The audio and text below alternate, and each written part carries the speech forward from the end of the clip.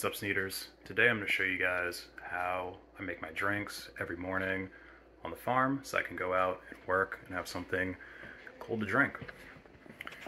So usually, first few days I was on the farm, I would just get some ice out of the ice maker we have indoors. But as you might be able to see there, there's not a whole lot of ice in there.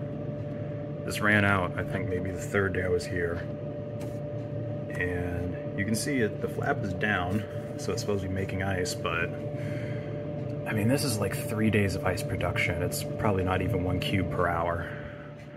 So, needless to say, that's not enough. All right, so let me go ahead and show you guys my ice.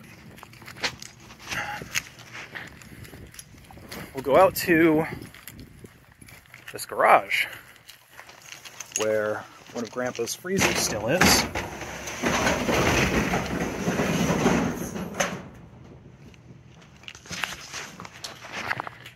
Although, this freezer might be on its last leg because it says door ajar, even though I don't see anywhere where it really is ajar.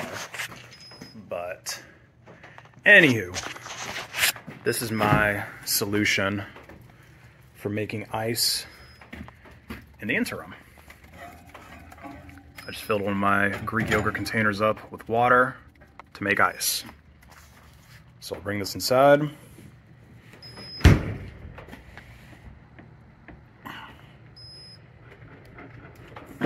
Yeah, I mean, that is closed pretty good.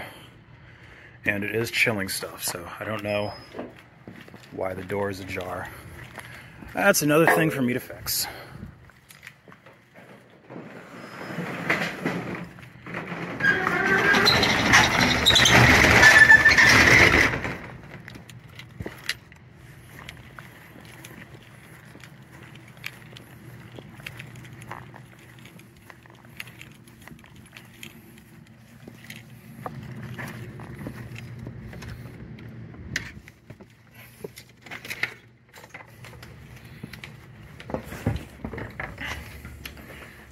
Take my boots off in the mud room switch to house shoes.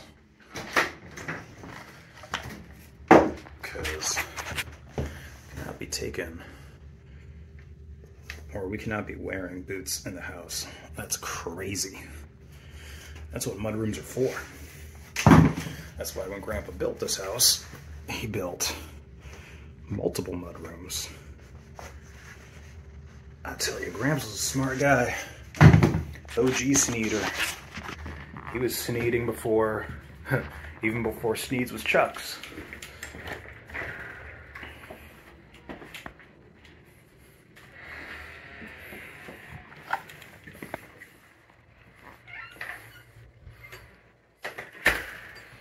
Okay, grab my jug.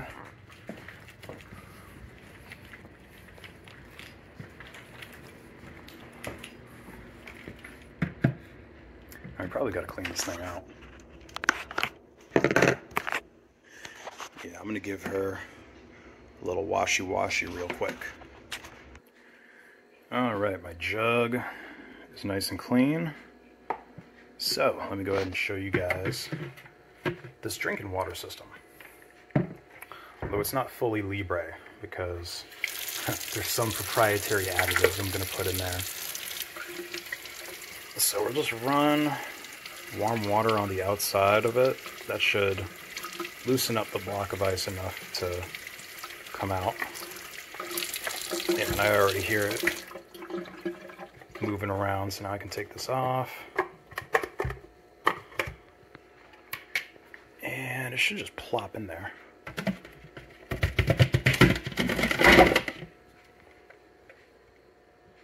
Nice big block of ice. That'll keep my water cold all day. So now here's my proprietary additives. Um, sometimes I use this if I'm feeling a little bit tired.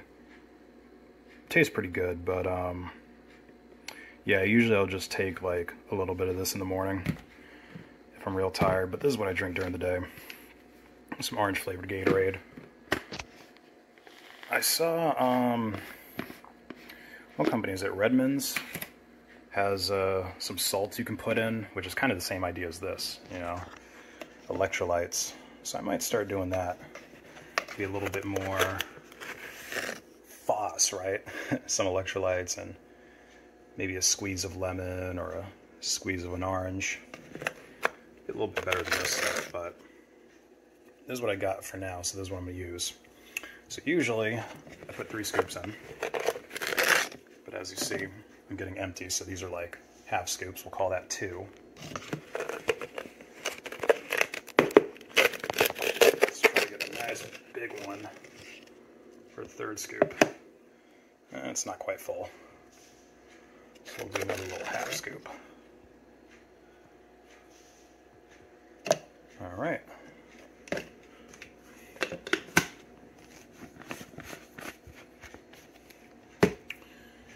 And I need a spoon to mix it up.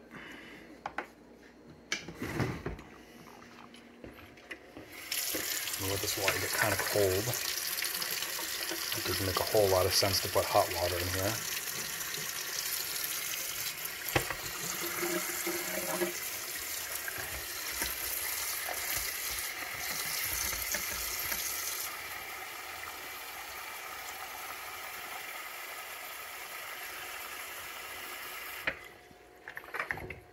Now we're gonna can't really stir it, but we can just dunk that big iceberg in a few times to, you know, get everything mixed together.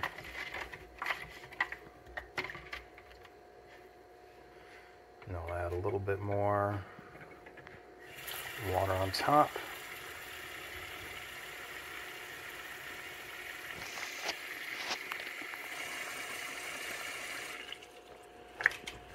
That lid on. Make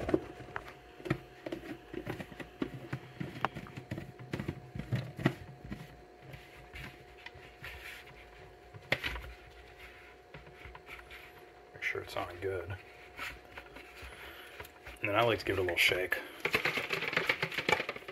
Just make sure everything's constituted. There you go. Half a gallon of drink for a long day of farming.